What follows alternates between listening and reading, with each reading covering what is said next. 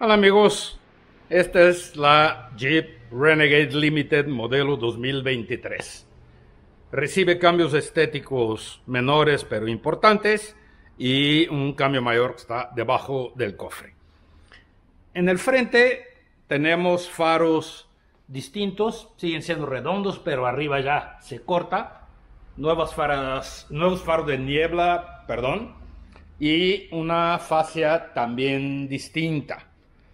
Rines son nuevos y me gusta mucho este, 19 pulgadas. Las canastillas o, los rieles superiores permanecen intactos y los costados son iguales salvo por los rines, que de verdad qué bonitos rines les quedaron a los diseñadores de, de Jeep. Las calaveras son un poco más grandes y la fascia posterior también igual que la salida ahí de escape que está hacia abajo. Es una camioneta relativamente chica, pero el espacio de cajuela no está nada mal para su categoría. Y tienes una llanta de refacción de tamaño completo. Eso es cada vez más raro hoy en día. Se agradece mucho porque tiene la tranquilidad de en un viaje si tienes algún problema, cambias y puedes seguir tu camino, incluso a velocidades normales. También, gracias por poner la cubierta. Tienes un par de lugares para objetos, una bocina, iluminación y vamos a ver el espacio posterior.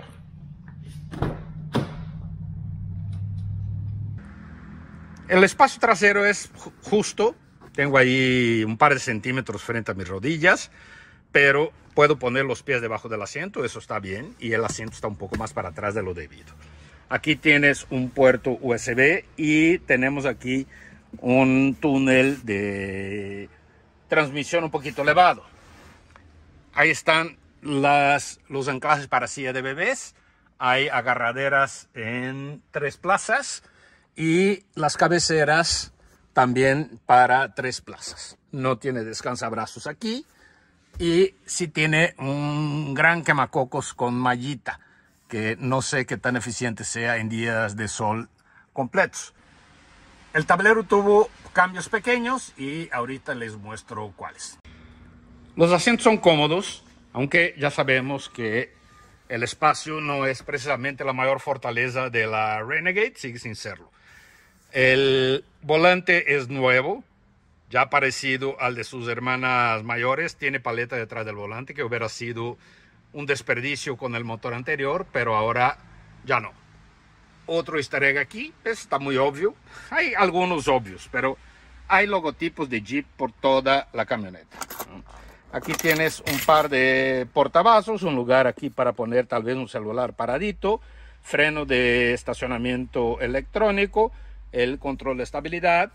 La caja es automática de 6 velocidades, un puerto USB-C y un USB-A, una toma de corriente de 12 voltios y todo eso fue como reordenado. Entonces tienes ahora nuevas formas de controlar aire acondicionado y otros detalles como sensor de estacionamiento y el, la ayuda de estacionamiento, que puede ser tanto en paralelo como perpendicular. Está muy bien en esta categoría. ¿eh? Una guantera de muy buen tamaño. Ahí en la puerta va a caber una botella, pero es un poco complicado llevarla. Esta agarradera se siente bien. Este plástico es acoginado. Y ahí están las salidas de aire. Aquí tienes los faros con encendido automático, los ajustes de altura y la iluminación interior. Aquí arriba, por supuesto, el ajuste de quemacocos. Aquí tienes agarradera de este lado. Tienes el espacio, pero no la tienes. Y me parece que es un acierto no tenerla porque es inútil para el conductor. Prendemos Y ahí tenemos los tableros digitales, tanto adelante allá como acá. Y tienes cámara de reversa, muy buena resolución de la cámara. ¿no? Hay marcas que pues, tienen una cámara que parece de Nokia del, de hace 20 años. Pero esta no, está muy bien. Ya tiene CarPlay y Android Auto inalámbricos. Eso es genial. Y puedes tener ahí algunos ajustes del, del auto, configuración de pantalla, ¿no? seguridad y asistencia. Ves que hay alerta de tráfico cruzado, frenado automático de emergencia, eh, el sensor de cambio de carril, el blind spot, es decir, alerta de punto ciego y el, puede ajustar el volumen del sensor delantero y trasero.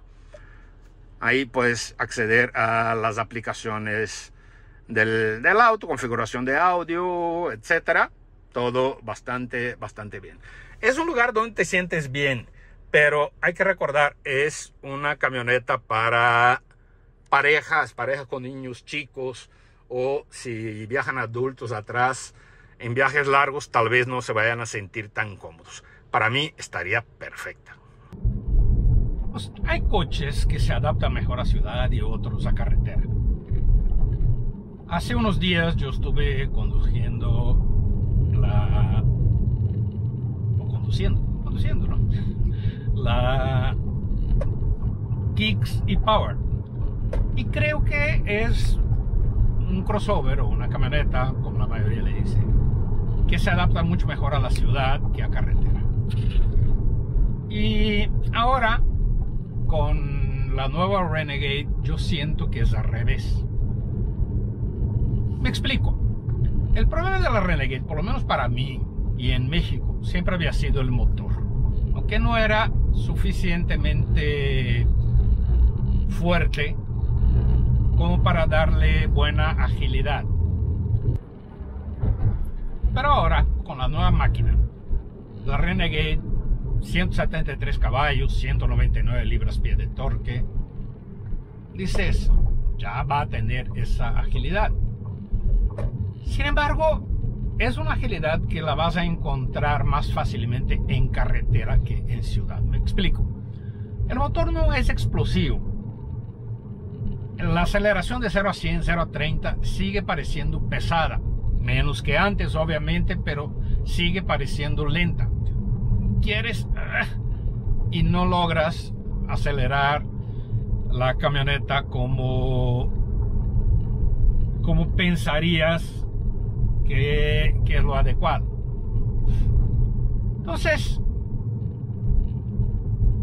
esa es la parte donde me hace pensar que funciona mejor para carretera que, que para ciudad.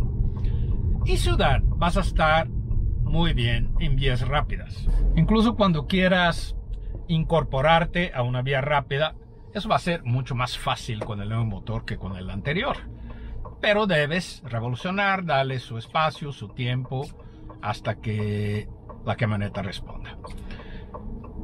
Hay dos o tres detalles en diseño de Renegade que siguen siendo, digamos, puntos no tan positivos.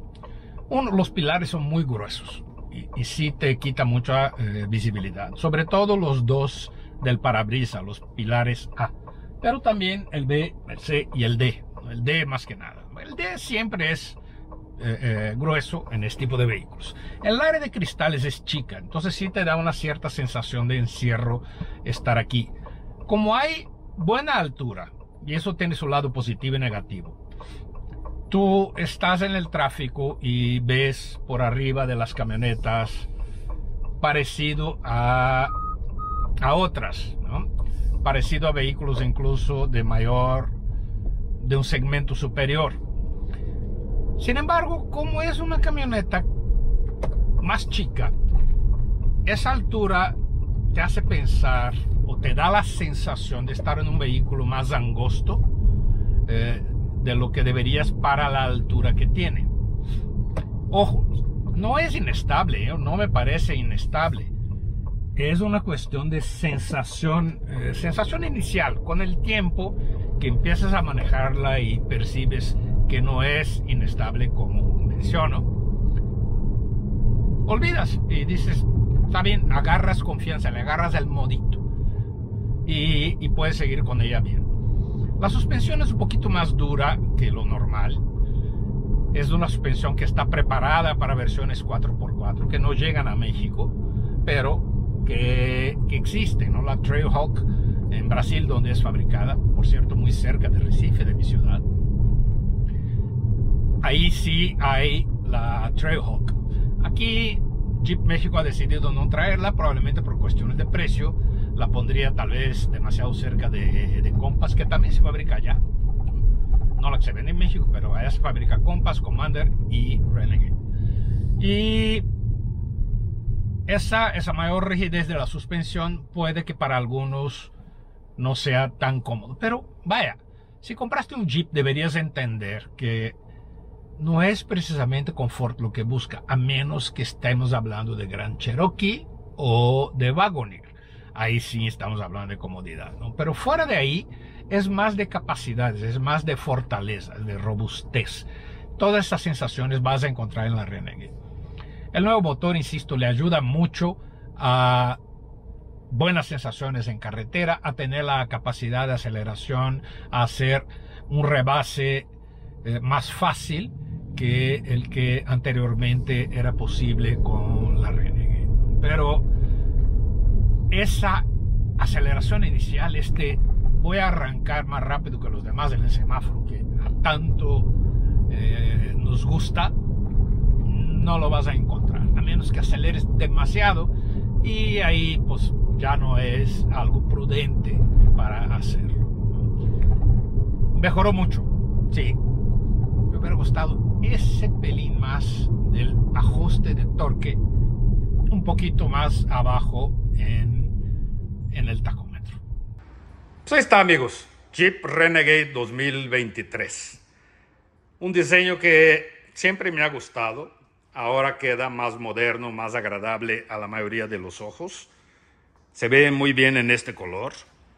Y estos rines realmente me encantaron. Pero lo que realmente más me encantó es que Jeep pone un motor que le hacía mucha falta. Era la gran debilidad de la Renegade, en mi opinión, era el motor anterior. Pero ahora, con 173 caballos, 199 libras-pie, queda perfecto. Y su precio, por debajo de los 600 mil pesos, la ubica, la hace muy bien parada para una camioneta en su segmento. Cuando vemos que una HRV, por ejemplo, cuesta 620 ya, híjole, y tiene 155 caballos aspirados, pues yo pondría esta Renegade como una opción muy interesante por arriba. La otra además tiene CBT. Y el detalle, eh, esta camioneta obviamente va a ofrecer menos espacio, va a tener menos reventa y va a gastar más combustible que la Honda. Aunque esto no es una comparación directa, pero bueno, cuando hablamos de precio, insisto, para mis necesidades esta camioneta encaja mejor que, por ejemplo, la HRV. Ah, muchas gracias amigos por su atención. Nos vemos aquí en el siguiente video. Adiós.